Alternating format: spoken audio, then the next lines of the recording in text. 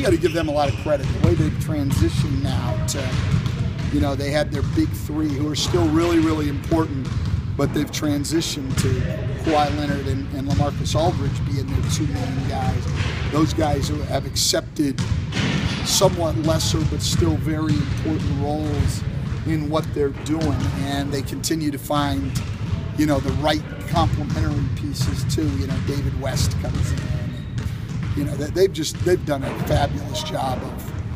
I mean, 17 straight 50 win seasons. That's mind-boggling to me. Isn't it kind of an example?